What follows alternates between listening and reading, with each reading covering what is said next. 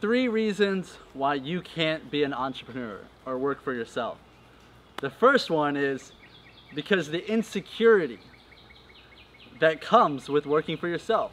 You don't know how much you're gonna get paid, when you're gonna be, get paid, or most significantly, what to do on a daily basis. Let's just face it. You wanna be told when to come into work, what time to leave, and be told exactly what to do. You don't wanna have to make all those, those hard decisions by yourself, do you? The second reason you can't be an entrepreneur is because you're not willing to take action on your ideas. I do believe that most people have within them a million, a million dollar idea. But it's only those who are willing to take action on making it happen that will actually see the money come in from their idea. Let's just face it, in daily life, we get paralyzed by having to make the perfect decision. If you're one of those people who lets perfectionism get in the way of making progress, then you're probably not cut off, cut out to being an entrepreneur. You're gonna, you are gonna make mistakes over and over again. You might spend days, weeks, even months investing your time into a project and you're gonna have no idea once you release it whether it's gonna hit or not.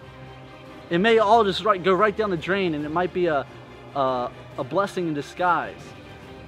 Or who knows, you might just spend one hour and one of your ideas might hit hard and they might go viral. One of my favorite quotes is that a loser is not someone who comes in second place.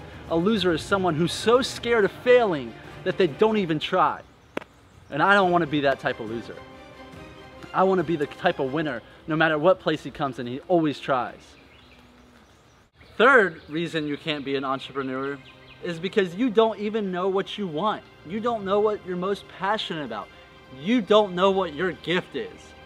If I were you, I would get on my knees and pray to God that He would show you and guide you so you can discover what the gift is that He has given you. Or would you rather just do what everyone else wants you to do and tells you what to do and tells you what you're best at and tells you what you should do with your life? You choose.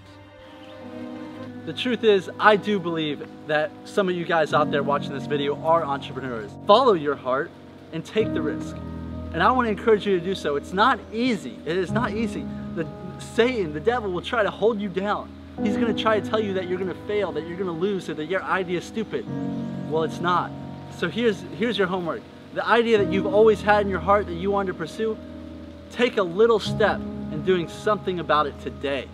As soon as you get done watching this video, I want you to do something, whether it's making a phone call, writing it down, um, investing in, in, a, in a tool that you need to carry your idea out, I want you to do something. Take action on it. All right, guys.